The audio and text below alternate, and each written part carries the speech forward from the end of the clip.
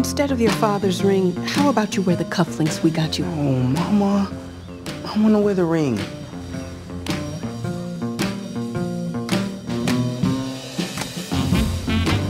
We have a really good life in Chicago, but they have a different set of rules down in Mississippi. You have to be extra careful. I know.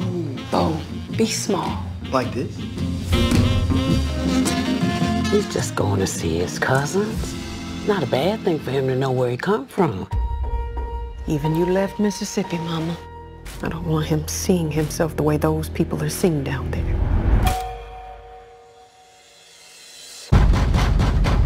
I want to talk to you about that boy. They've come for you. Hello?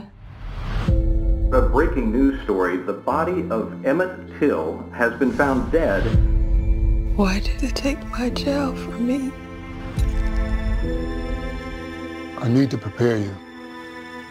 Can you bring Emmett's black suit? It's how he'd like to be seen. Bo's in no kind of shape to be seen by anyone. He's in just the right shape. That smell is my son's body, reeking of racial hatred. Now I want America to bear witness. Come with me, please.